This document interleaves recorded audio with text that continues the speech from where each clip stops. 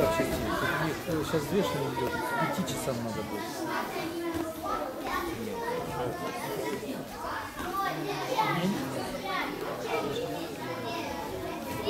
Ну, я думаю, уже мы скоро начнем. Через минут 40 мы начнем. Питание номер два. Победу одержал Токолов. Давайте на 5, на 5 часов напрягитесь там на 5. Я вот могу Ну, потому